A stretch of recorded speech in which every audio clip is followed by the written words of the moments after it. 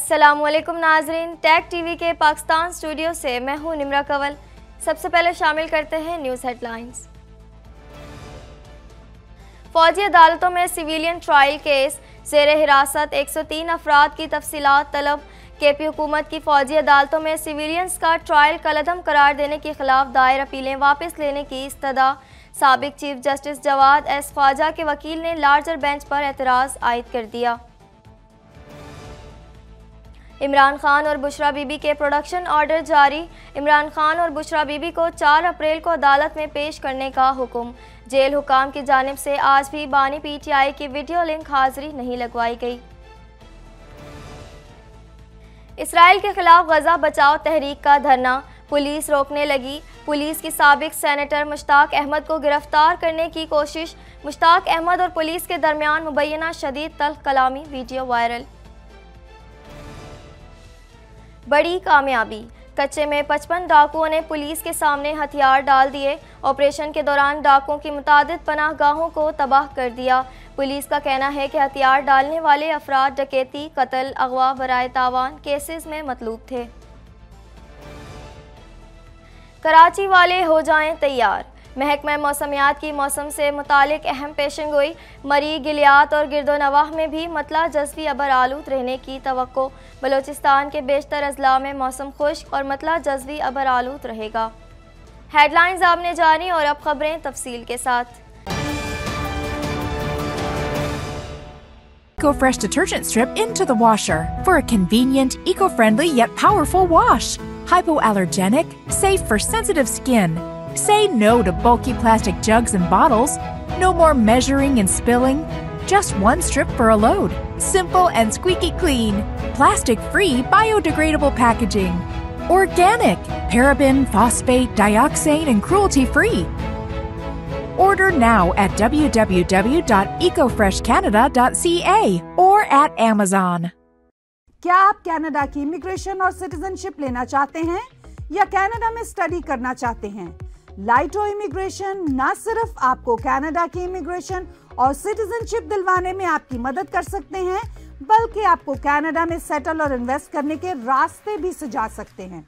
लाइटो immigration is a regulated Canadian immigration consultant we deal in study work PNP and PR visas get startup visas work permit and business visas we rise by lifting others लाइटो immigration Supreme Court of Pakistan ने फौजी अदालतों में civilians का trial कलदम करार देने के खिलाफ इंट्रा कोर्ट अपीलों पर समात के दौरान अटारनी जनरल से जेर हिरासत अफराद के मुकदमात की तफसीत तलब कर ली।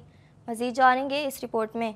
सुप्रीम कोर्ट ऑफ़ पाकिस्तान ने फौजी अदालतों में सिविलियंस का ट्रायल कलदम करार देने के खिलाफ इंट्रा कोर्ट अपीलों पर समात के दौरान अटॉर्नी जनरल से जेर हिरासत अफराद के मुकदमात की तफसीत तलब कर ली। सबक chief justice Jawad S Khawaja के वकील ख्वाजा अहमद हुसैन ने बेंच पर एतराज़ उठा दिया। उन्होंने कहा कि छः रुकनी लार्जर बेंच पर एतराज़ है। छः रुकनी लार्जर बेंच ने फौजी अदालतों में सिविलियंस का ट्रायल कलदम करार देने के फैसले के खिलाफ अपीलों पर समात की। के पी के हुकूमत ने फौजी अदालतों में सिविलियंस का ट्रायल कलदम करार देने के खिलाफ दायर अपीलें वापस लेने की इस्तः कर दी और इस हवाले से सूबाई काबीना की करारदाद अदालत में पेश कर दी। वकील के पी के हुकूमत ने कहा कि इंट्रा कोर्ट अपीलें वापस लेना चाहते हैं। सुप्रीम कोर्ट ने कहा कि काबीना करारदाद पर तो अपीलें वापस नहीं कर सकते। मुनासिब होगा कि अपीलें वापस लेने के लिए बाबा दरख्वास्त दायर कर दें। अदालत ने अटॉर्नी जनरल से जेर हिरासत एक सौ तीन अफराद की तफसीत तलब करते हुए पूछा कि बताएँ कितने मुलजिमान को कितनी सजाएँ हुई। ये भी बताएँ कितने मुलजिमान बरी हुए। जेर हिरासत एक सौ तीन अफराद में से कितने अफराद की बरीत बनती है? अदालत ने अटॉर्नी जनरल से जेर हिरासत एक सौ तीन अफराद में से कितने अफराद की बरीत बनती है के हवाले से तफसीत तलब कर ली? इसके बाद अदालत ने फरीकैन को नोटिस जारी करते हुए केस की मजीद समात 28 मार्च तक के लिए मुलतवी कर दी। वाजह रहे कि 13 दिसंबर 2023 को सुप्रीम कोर्ट ने फौजी अदालतों में सिविलियंस का ट्रायल रोकने का फैसला मअतल किया था। फैसले के खिलाफ निगरान विफाकी हुकूमत, वजारत दिफा और वजारत कानून समेत सत्रह अपीलें दायर की गईं। सिविलियंस के मिलिट्री ट्रायल के खिलाफ दरख्वास्त गुजार सबक chief justice Jawad S Khawaja Aitzaz Ahsan, Karamat Ali और बानी पी टी आई हैं। अदालत ने बानी। चेयरमैन पीटीआई इमरान खान और उनकी अहलिया बुशरा बीबी को 4 अप्रैल को अदालत में पेश करने का हुक्म जारी कर दिया। मजीद जानेंगे इस रिपोर्ट में। अदालत ने बानी चेयरमैन पीटीआई इमरान खान और उनकी अहलिया बुशरा बीबी को 4 अप्रैल को अदालत में पेश करने का हुक्म जारी कर दिया। District and session courts Islamabad में बानी चेयरमैन पीटीआई और बुशरा बीबी की अदालत में पेशी के केस की समात हुई, जिसमें अदालत ने जमानत की दरख्वास्तों में सबक वज़ीर अजम बानी chairman P T I Imran Khan और उनकी अहलिया बुशरा बीबी के प्रोडक्शन ऑर्डर जारी कर दिए। एडिशनल डिस्ट्रिक्ट एंड सेशन जज ताहिर अब्बास सपरा ने इमरान खान के वकला की जानब से अदालत में पेशी के लिए प्रोडक्शन ऑर्डर की दरख्वास्तों पर समात की, जिसमें बानी, चेयरमैन पी टी आई की जानब से वकील खालिद यूसुफ चौधरी अदालत में पेश हुए। दौरान समात अदालत ने अडियाला जेल के सुप्रिंटेंडेंट को हुक्म दिया कि इमरान खान और बुशरा बीबी को चार अप्रैल को अदालत में पेश किया जाए। वाजे रहे कि अदालत ने गुजशत समात पर वीडियो लिंक के ज़रिए हाजिरी लगवाने का हुक्म दिया था। ताहम जेल हुकाम की जानब से आज भी बानी पी टी आई की वीडियो लिंक हाजिरी नहीं लगवाई गई। गुजशत समात पर वीडियो लिंक के ज़रिए हाजिरी न लगवाने पर अदालत की जानब से नोटिस जारी किया गया था। इस्लामाबाद में गज़ा बचाओ तहरीक ज़ेर अहतमाम डी चौक में एहतजाज और धरना दिया गया। मुजाहरीन ने इसराइल मुखालिफ नारेबाजी की, जबकि पुलिस एहतजाज रोकने के लिए पहुँच गई। मजीद जानेंगे इस रिपोर्ट में। इस्लामाबाद में गजा बचाओ तहरीक के जेर अहतमाम डी चौक में एहतजाज और धरना दिया गया। मुजाहरीन ने इसराइल मुखालिफ नारेबाजी की, जबकि पुलिस एहतजाज रोकने के लिए पहुँच गई। विफाकी दारकूमत इस्लामाबाद में गजा बचाओ तहरीक के जेर अहतमाम फ़लस्तीन में जारी इसराइली बरबरीत के खिलाफ शदीद एहतजाज किया गया। इस मौके पर जमात इस्लामी के कारकुनों की बड़ी तादाद मौजूद थी। शुरा ने मजलूम फ़लस्तियों के खिलाफ इजहार यकजहती करने के साथ धरना भी दिया। एहतजाज के शुरा से खिताब करते हुए सबक सैनिटर मुश्ताक अहमद ने कहा है कि हमारी तहरीक का एक नुकाती एजेंडा सिर्फ़ गजा को बचाना है। धरना उन करारदादों की रोशनी में है जो पार्लियामेंट में पास हुई। पहले करारदाद पास करते हो, जब लोग निकलते हैं तो उनको डराते हो। एहतजाज से वापसी पर इस्लामाबाद पुलिस ने जमात इस्लामी के रहनुमा और सबक सैनिटर मुश्ताक को गिरफ़्तार करने की कोशिश की। इस दौरान सैनिटर मुश्ताक अहमद और पुलिस के दरमियान शदीद तल्ख कलामी हुई, जिसकी वीडियो वायरल हो गई, जबकि वीडियो बनाने पर अहलकार शहरी पर भी बरस पड़े। दूसरी जानब, तर्जुमान इस्लामाबाद पुलिस का कहना है कि विफाकी दारकूमत में दफ़ा एक सौ चवालीस नाफिज है।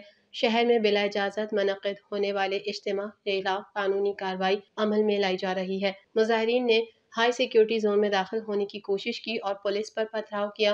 पुलिस ने मजीद कहा कि पथराव से कांस्टेबल नौमान जख्मी हुआ। मुजाहरीन ने शहरीों की आमदोरफ्त के रास्ते मजदूद कर दिए थे। बिला इजाज़त, इज्तम और अवामी शाहराहों को मजदूद करने की इजाज़त हर किस नहीं दी जा सकती। किसी भी गैर मामूली सरगर्मी की इतला वन फाइव पर दें। कच्चे में पचपन डाकुओं ने पुलिस के सामने हथियार डाल दिए। हथियार डालने वालों का ताल्लुक बनू और फयाज दोलानी गैंग से है। मजीद जानेंगे इस रिपोर्ट में।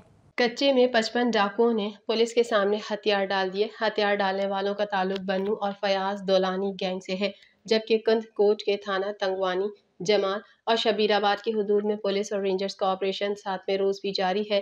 पुलिस का कहना है कि डाकुओं के मजीद ठिकानों को गिरा कर आग लगा दी है। डाकुओं के गिर्द घेरा तंग क्या हुआ है? जल्द डाकू गिरफ़्तार होंगे। डीपीओ दोस्त मोहम्मद का कहना है, हथियार डालने वालों का ताल्लुक बन्नू और फयाज दोलानी गैंग से है। ऑपरेशन के दौरान डाकुओं के मुताबिक पनागाहों को तबाह कर दिया। तफसीत के मुताबिक, रुझान के कच्चे में डाकुओं के खिलाफ ग्रैंड ऑपरेशन में पचपन डाकुओं ने हथियार डाल दिए। दोस्त मोहम्मद ने बताया कि हथियार डालने वाले अफराद डकेती, कत्ल अगवा बरए तावान केसेस में मतलूब थे। उस्ताद के कत्ल की सहूलत कारी के इल्ज़ाम में चौंतीस मुलजमान गिरफ़्तार हैं। इक्कीस अफराद के खिलाफ पुलिस मुकाबले का मुकदमा दर्ज किया गया है। दौरान ऑपरेशन मजीद सात मुशतबा अफराद को भी हिरासत में लिया गया और मुलजिमान के घरों से तीन मोटरसाइकिल बरामद की गई। ऑपरेशन में बख्तरबंद गाड़ियों, जदीद मशीनरी से लेस रेंजर्स के जवान हिस्सा ले रहे हैं। महकमा मौसमियात ने कराची में पीर से दर्जा हरारत में इजाफे की पेशन गोई कर दी और कहा आज पारा 35 डिग्री सेंटीग्रेड तक जा सकता है। मजीद तफसीत इस रिपोर्ट में। महकमा मौसमियात ने कराची में आज से दर्जा हरारत में इजाफे की पेश गोई कर दी और कहा कि आज पारा पैंतीस डिग्री सेंटीग्रेड तक जा सकता है, जबकि लाहौर समेत पंजाब भर में आज से गर्मी की शिद्दत में इजाफे का इम्कान है। महकमा मौसमियात के मुताबिक आज से दर्जा हरारत में तेज़ी से इजाफा होगा।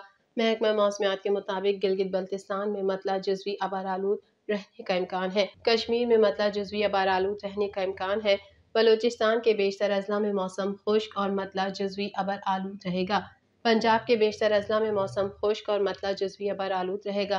इस दौरान मरी गिलियात और गिरदो नवाह में भी मतला जजवी अबर आलूद रहने की तो है। हैदराबाद, मिट्टी, नवाब शाह में पारा उनतालीस डिग्री सेंटीग्रेड तक जाने का इम्कान है। कोयटा, लाहौर, इस्लामाबाद, पिशावर, कश्मीर और गिलगित बल्तिस्तान समेत मुल्क के बेशतर इलाकों में मौसम खुश्क और मतला जजवी अबर आलूद रहेगा। तफसीत के मुताबिक, महकमा मौसमियात ने कराची में मौसम की सूरत हाल बताते हुए कहा कि कराची में आज भी दिन भर मौसम गर्म और मरतूब रहेगा। कम से कम दर्ज हरारत चौबीस डिग्री सेंटीग्रेड रिकॉर्ड किया गया और ज़्यादा से ज़्यादा दर्ज हरारत तैंतीस से छत्तीस डिग्री तक जाने का इम्कान है। महकमा मौसमियात का कहना है कि कराची में आज से दर्ज हरारत में इजाफे का इम्कान है। ताहम शहर में ताहाल हीट वेव का कोई इम्कान नहीं। हवा में नमी का तनासब अठासी फ़ीसद है। जुनूब मगरबी सिम से हल्की रफ्तार से हवाएँ चल रही हैं। टैग टीवी के पाकिस्तान स्टूडियो से फ़िलहाल इतना ही। अपनी मेज़बान निमरा कबुल को दीजिए इजाज़त। अल्लाह हाफिज़।